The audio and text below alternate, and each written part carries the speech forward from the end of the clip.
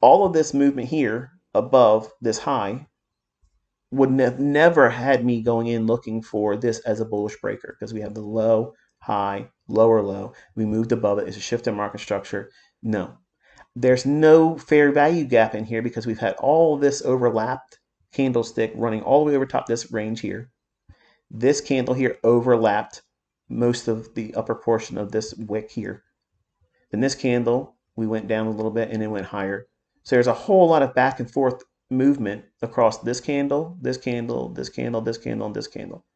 Now, while we're dropping, to me, I think this is a meaningful drop because I think we're going to go lower and take that low out.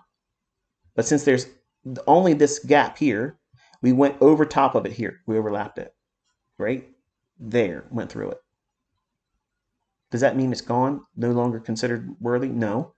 It means that my eye jumps right to this and this becomes a potential inversion fair value gap.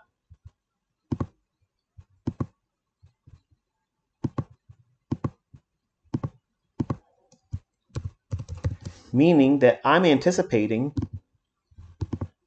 I'm expecting it to do a move lower, come back up, and treat it as resistance.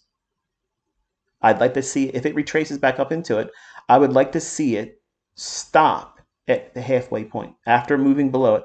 If it does that, then I'm really, really bullish on dollar. Then I'll be really, really looking for shorts in NASDAQ. You see how everything is blended together with this, that? The whole explanation about what I'm looking for, why I'm thinking it, why I expect it, why I'm cautious, what am I specifically waiting for? That's experience that's knowing what to do with the models. That's also knowing and trusting myself as, a, as an individual and also respecting in, in the increased measure of risk right now.